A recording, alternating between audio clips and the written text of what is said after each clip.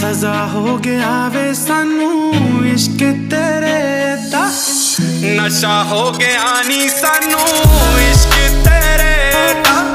ਨਸ਼ਾ